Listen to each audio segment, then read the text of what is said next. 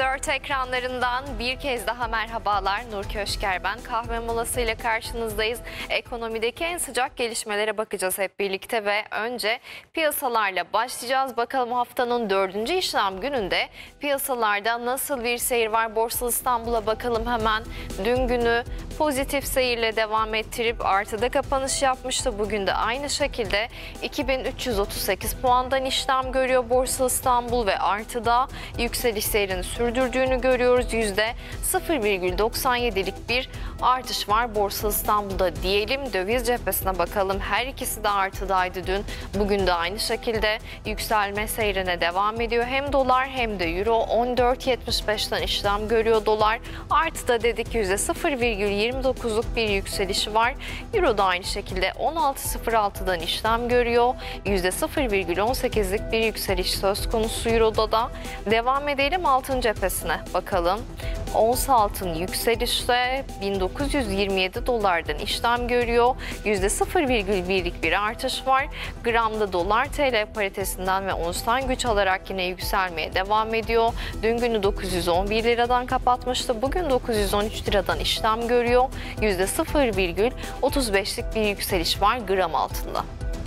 Devam edelim petrole ve tahvile bakacağız. Petrolde genele baktığımızda düşüş seyir sürüyor. 106 dolardan 102 dolara düşmüş ama anlık bazda yükseliş var Brent petrol varil fiyatında. %0,94'lük yükselişte 102 dolardan işlem görüyor Brent. Son olarak da tahvile bakalım. Tahvilde dün yine düşüş seyrindeydi. 24'ten işlem görüyordu. Bugün de eksi de olduğunu görüyoruz. 24,75'ten işlem görüyor. Eksi de dedik %0,2'lik bir düşüş olduğunu görüyoruz tahvilde. Bu arada Fed'in son toplantısına ait tutanaklar yayımlandı ve tuta, tutanaklardan bilanço küçültme kararı çıktı. Tutanaklarda 95 milyar dolarlık aylık bilanço daraltmanın uygun olacağı ifade edildi. Enflasyona yönelikse daha fazla yukarı yönlü riski karşı dikkatli olunması gerektiği belirtildi. Enflasyon baskısının sürmesi halinde üyelerin birçoğu gelecekteki faiz oranın, oranının bir veya daha fazla kez 50 bas puan artırılmasının uygun olabileceğini de vurguladı. Fed 16 Mart tarihindeki Federal Açık Piyasa Komitesi toplantısında 2018 Kasım ayından bu yana ilk kez faiz artışı kararı vererek politika faizini 25 baz puan 25 baz puan arttırmıştı. Bunu da hatırlatalım.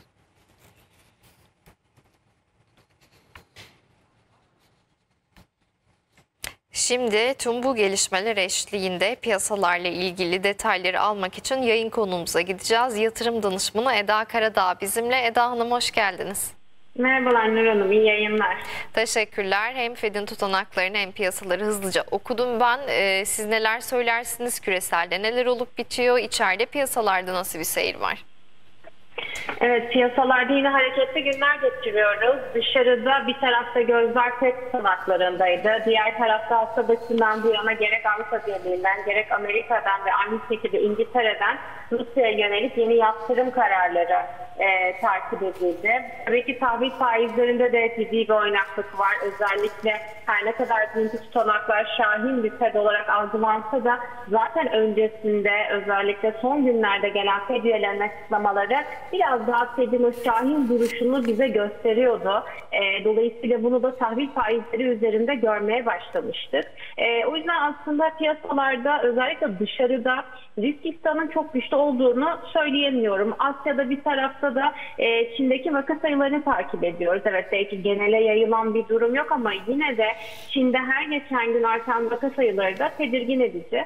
Dolayısıyla bu tablo karşısında an itibariyle ABD vadelileri, Avrupa endekslerinde karışık seyirler var. Günün geri kalanında tabii ki bunlar artıya dönebilir, belki biraz daha alımlar hızlanabilir. Ama bu tamamen haber akışlarına bağlı olduğunu düşünüyorum Nur Hanım. Özellikle Rusya ve Ukrayna meselesi devam ederken e, o tarafla ilgili sürekli gelen haberler aslında fiyatları etkileyebiliyor. E, dolayısıyla yine günün geri kalanında gerek jeopolitik riskler, gerek FED üyelerinin açıklamaları bence önemli olabilir. Çünkü bugünün takviminde de yine FED, üyelerinden açıklamalar var. Borsa İstanbul'a geçecek olursam biz dışarıya göre pozitif hareketimizi korumaya devam ediyoruz. Hacimden de bu hafta iyi destek aldık. Yani geçtiğimiz günlerde 50 milyar 54 milyar liralık bir işlem hacmiyle günü tamamlamıştık hafta başından bugüne. E, o yüzden hani görünüm itibariyle pozitif ortalamaların üzerinde. Tabii ki biraz yatırımcı enflasyon tedirginliği içerisinde dolayısıyla bu da hisse senedi piyasasına doğru e, hareketi de destekliyor.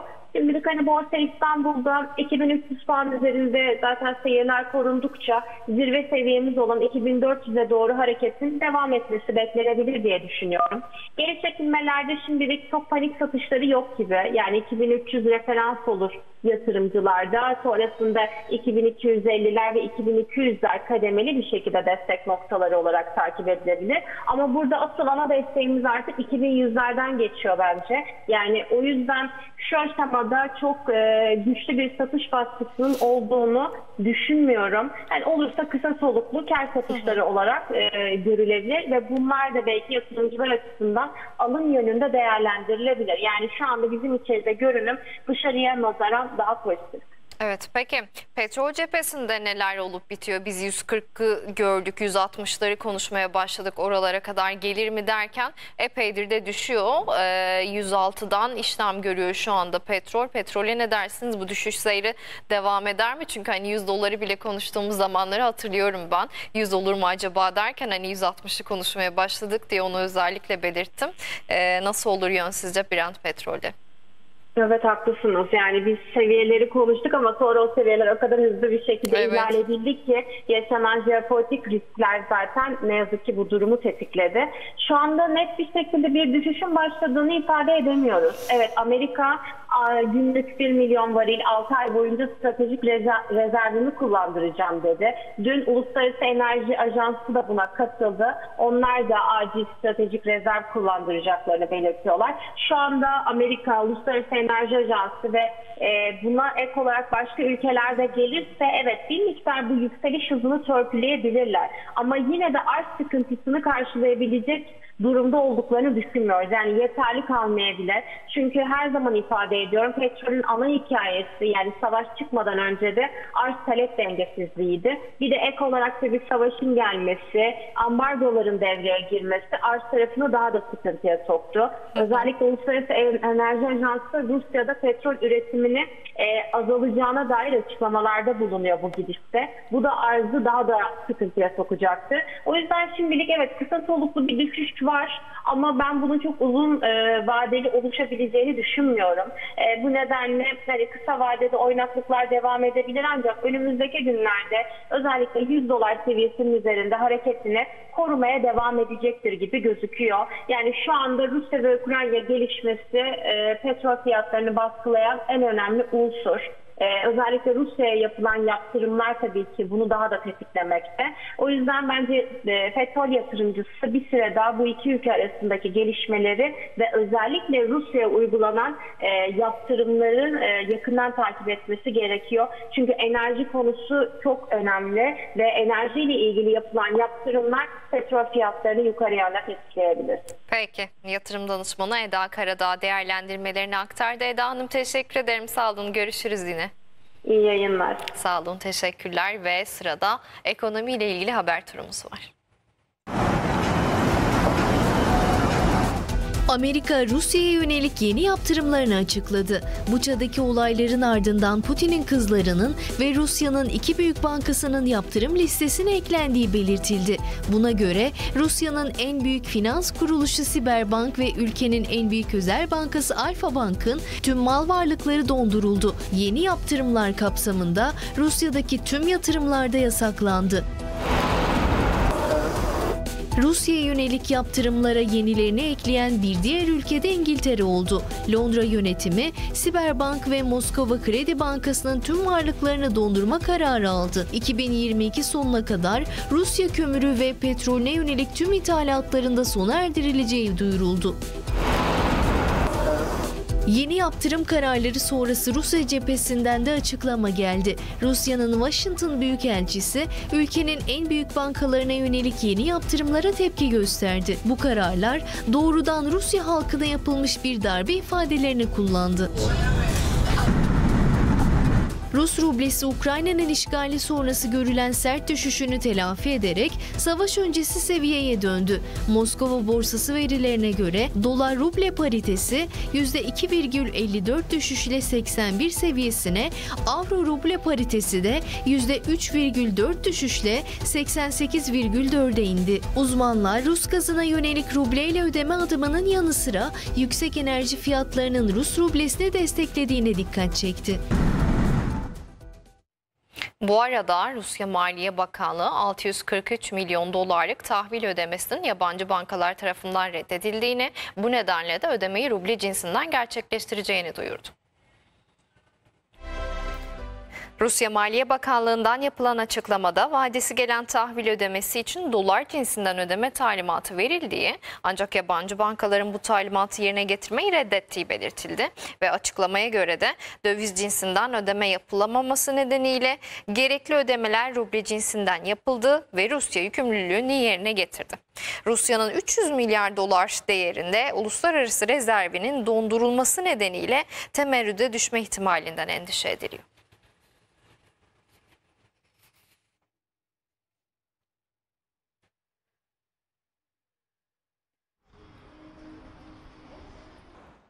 Pozitif bir haberle devam edelim şimdi de. Küresel tedarik zincirinde stratejik üs haline gelen Türkiye, jeopolitik konumu ve sunduğu maliyet avantajıyla uluslararası şirketlerin radarına girmeye devam ederken bir yatırım haberi de Fransız devden geldi. Türkiye'de faaliyetlerini sürdüren Renault Group ara vermeden devam ettiği yatırımlarına yenisini ekleyeceğini duyurdu.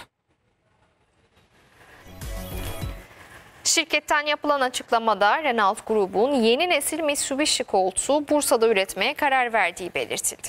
Yeni aracın 2023'ün 4. çeyreğinde Avrupa'da satışa sunulacağı duyuruldu. Açıklamada görüşlerine yer verilen Renault Group Türkiye üst yöneticisi ve Oyak Renault Yönetim Kurulu Başkanı Hakan Doğu, yatırımlarımıza ara vermeden devam edeceğiz mesajını paylaştı.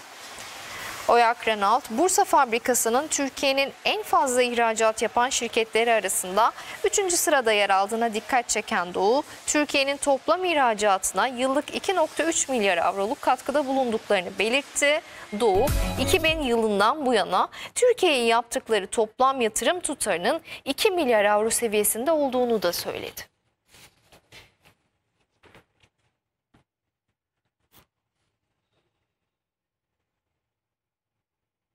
Bu haberimizle noktalayalım kahve molasını yarın sabah saat 9'da analiz sentezde yeniden buluşalım.